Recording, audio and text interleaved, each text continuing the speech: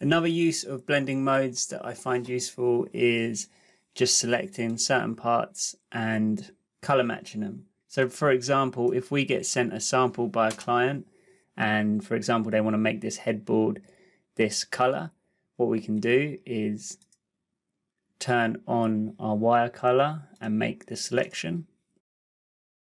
And if you don't have your wire color, you could always try and use quick selection.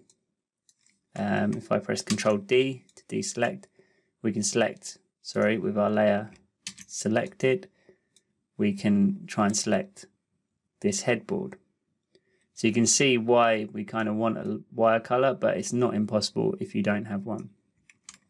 So Control D will deselect and Control Shift D will actually reselect. So I'm just going to select our headboard using our wire color. We don't actually have to have it visible either. So it's quite handy just to have it, select that layer and magic wand it.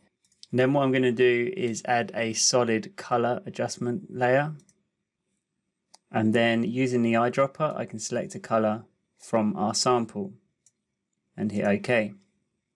Now if I change this blend mode to color, it's going to change the color of our headboard to this. Now it's not spot on, so I want to add, add another adjustment layer and I'm going to hold control and select our layer mask. So what it does is select our headboard again and then I can select levels. And I'm just going to bring that down to make it a bit brighter. And I'm just looking at the sample and trying to match it up.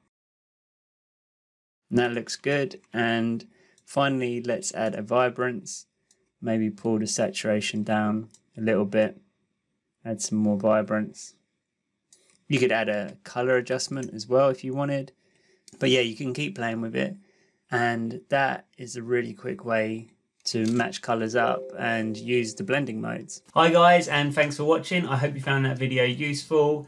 This video is actually part of a larger course, so if you think you'd find that useful, then check out the link in the description and feel free to like and subscribe.